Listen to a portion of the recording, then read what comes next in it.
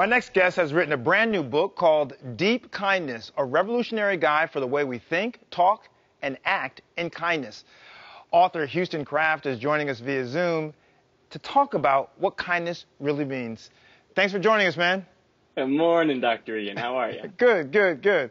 So, in a time where people are kind of scared and nervous and so many uncertainties, how can people actually practice uh, making kindness a habit?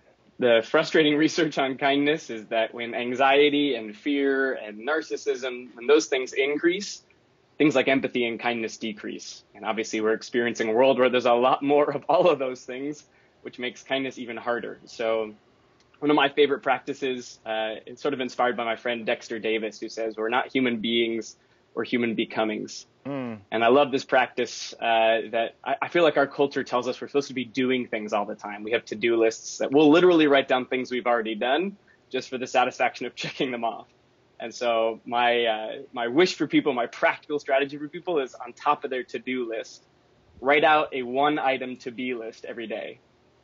I want to be kind. I want to be grateful. I want to be present. And then give yourself an actual five minute practical thing that you can check off each day to make sure that you are prioritizing who we want to be alongside all the stuff that we have to do.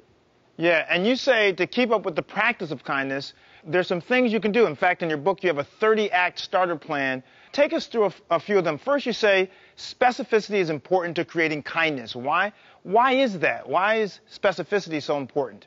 Specificity is all about listening, and it's about understanding that when I receive something that is specific to what I need, it's going to make a much more profound difference. And so the 30 act starter plan is just trying to help us understand who we have the most access to and then curating or tailoring our kindness towards that person. So if I start with myself, right, I have to start with self compassion, self care, and move outwards. Okay, then who do I live with? And then who's my family? And then who's my best friend? And then my acquaintance? And then the stranger? And then the grocery store clerk? And as I move farther outwards, those people need different things.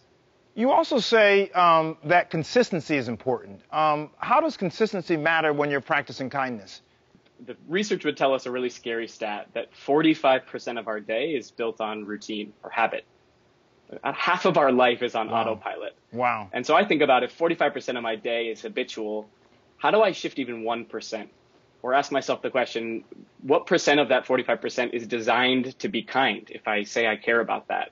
Mm-hmm. Example I'd offer is my my mom. I'm an only child, total mama's boy, and my mom wrote me a lunch note in my my lunch every single day, kindergarten through 12th grade. Wow. And while each day that act might have only taken her two minutes, it's sort of the the collection, right? The consistency over time that makes it one of the most profound actions of love in my life. And so I would ask people to think about what's their 1% shift, right? What's that two minutes a day over time that allows you to become the thing we say we want to be?